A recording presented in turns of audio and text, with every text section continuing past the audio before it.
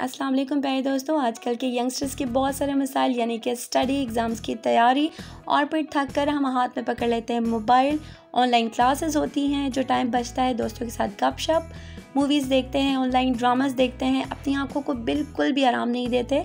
और जिसका फिर फाइनली रिज़ल्ट कुछ इस तरह का जब निकलता है तो हम बहुत परेशान होते हैं।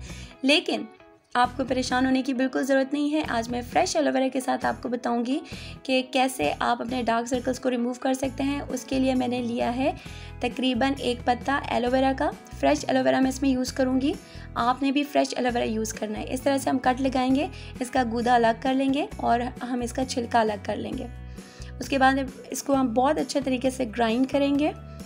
दूसरे नंबर पर आ जाती है बारी रोगन बादाम, यानी कि अलमंड ऑयल की। इसकी जगह आप कोकोनट ऑयल भी यूज़ कर सकते हैं हाफ़ टेबल स्पून मैंने यहाँ पर ऑयल यूज़ किया है। Two tablespoon fresh aloe vera gel और एक विटामिन ई का कैप्सूल इन तीनों चीज़ों को बहुत अच्छे तरीके से आपने मिक्स करना है। फ्रिज में ठंडा करें और रात को सोते वक्त अपने अंडर आइज़ लगाएँ इसको। एक हफ़्ते के इस्तेमाल से आप खुद वाजह तौर पर फ़र्क देखेंगे। दोस्तों, आपको मेरी वीडियो पसंद आई है तो मुझे कमेंट्स में ज़रूर अपनी राय से आगाह करें। दुआ में याद रखें। अल्लाह हाफिज़।